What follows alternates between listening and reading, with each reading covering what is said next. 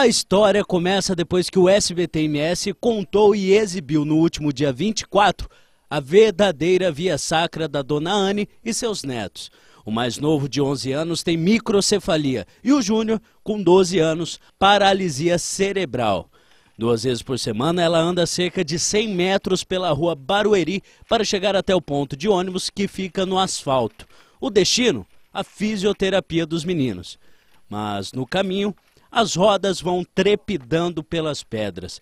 Para facilitar, ela empina as cadeiras, mas o esforço é grande. Já estou cansada. É difícil andar nesse cascalho assim, ó, e você chegar com a coluna toda estourada, doendo, os braços tudo doendo.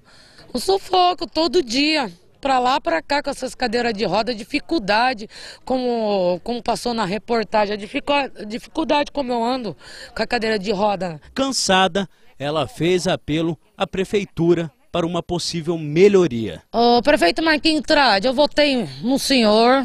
Queria um favor muito grande para o senhor, por causa das crianças, não é para mim. Poder arrumar a rua para mim, por favor, para poder levar, continuar, levar as crianças na fisioterapia. Com a ajuda do senhor, se o senhor puder fazer isso para mim, eu fico grato. Não chegou o asfalto que ela pediu, mas uma medida foi tomada.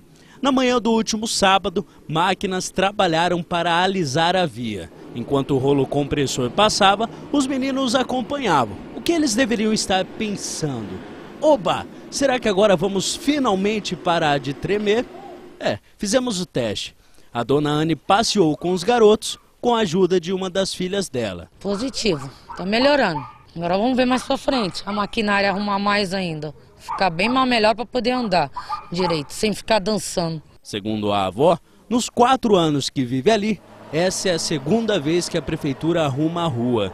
O medo dela é de, numa próxima chuva, a rua se transformar no caminho de pedra de novo.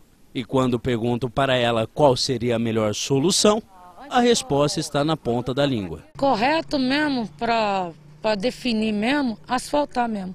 Como eu pedi para o Marquinhos Estrade, asfaltar. Pro resto da vida. Eu quero um serviço que dure pro resto da vida.